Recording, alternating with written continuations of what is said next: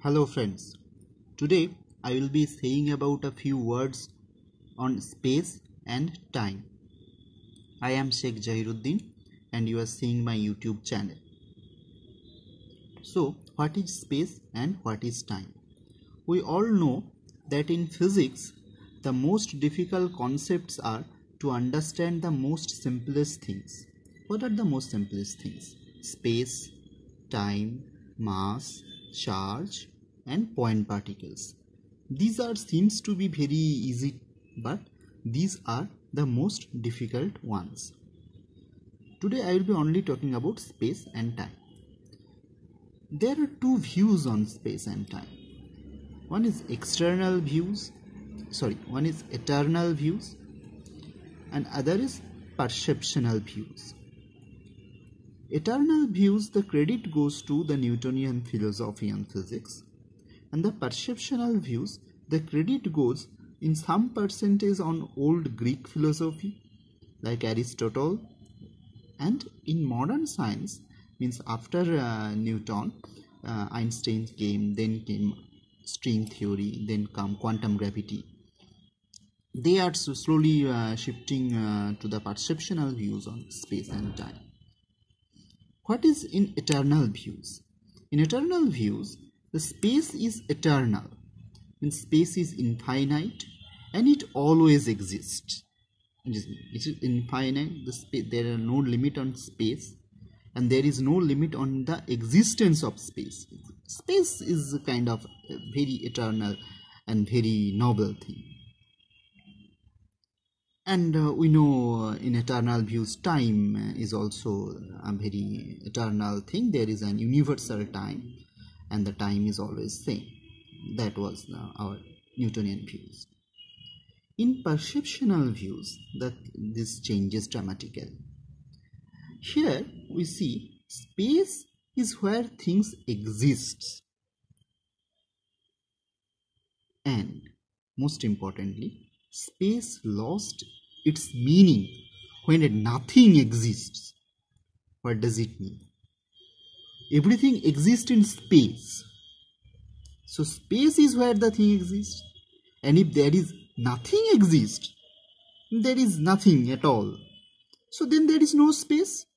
So existence of space is clubbed with the existence of something.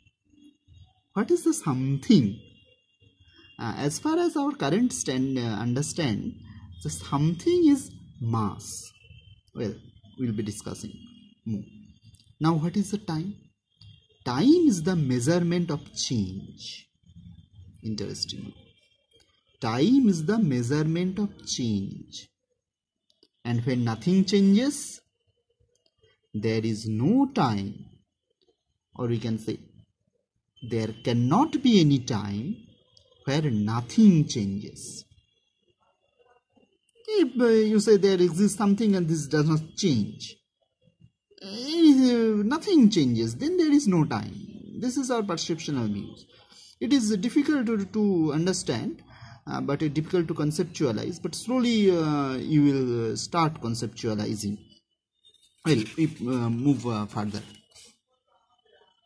Now the question is, is it possible that something will exist and it will not change?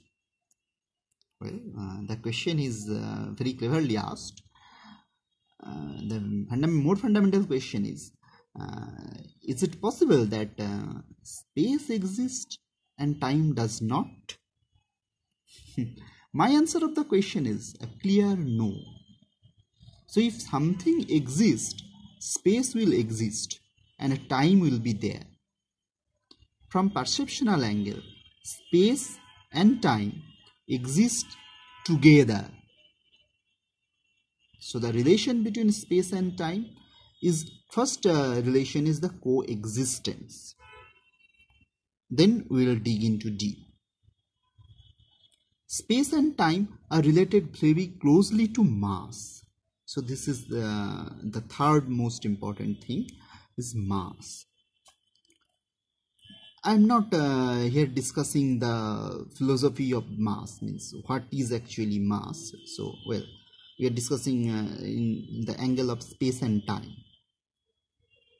you have all heard that mass carves the space well uh, you have seen, might have already seen the lots of youtube videos and uh, might have already uh, read all the very good uh, popular science books that uh, mass carves the space and that's why the masses attract each other. Means gravity is the consequence of space-time curvature. This sentence you have already heard. What does actually mean? So this is the subject uh, to, discuss. Uh, there is a that subject discusses the question in great depth is the general theory of relativity it is called gtr so i am not here uh, telling you or teaching you gtr so i am telling you some very few basics. This is the from the angle of space and time. Well where do space carve? You have heard about the curvature space is being carved? Where it exactly carves? You know uh, if you are carving uh, say you are uh, drawing a curve uh, you are carving uh, you, you, just you draw a curve mm, just you uh, draw like this. So this is like you are just carving a straight line into a plane. Means the to carve a straight line or to bend a space uh, to bend a straight line you need another dimension. So you have one dimension this is straight line. Here you are carving the straight line. This is the curve. To carve a one dimensional straight line you need another dimension so where do the space carve what is the extra dimension in which the space carve so that extra dimension is time.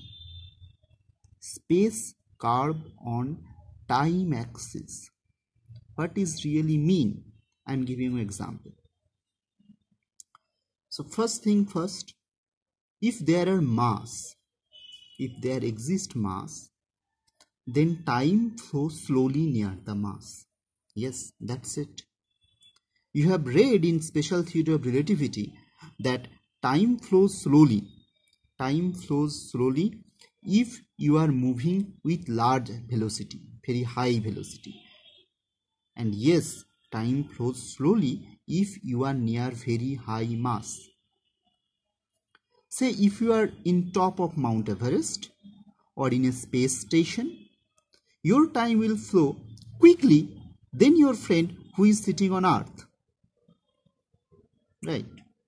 And yes the presence of mass and the presence of gravity and the slowdown of time directly related to each other. So these are most important uh, sentence. The presence of mass means if there is mass then there will be gravity and uh, the presence of mass and slowdown of time is the similar relation of uh, just exactly presence of mass and presence of gravity means if there is a mass then the time will be slow near the mass. And you can safely say that things fall downwards because time flows slowly downwards. Means we have all heard and we have all read and we have all understood that the things falls downwards. Means if I just uh, uh, we have a pen. I'm just uh, uh, releasing the pen. Pen is going downwards. And we have uh, read that uh, there is gravity attracting on it. And uh, of course there will energy will be less in downwards.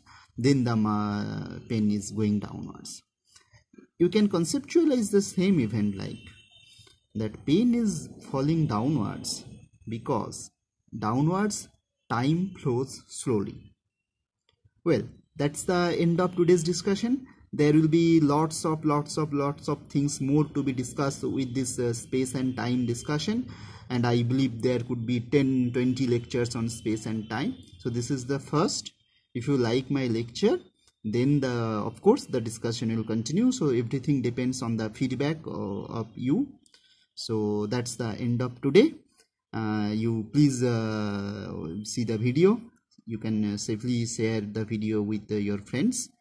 Uh, thank you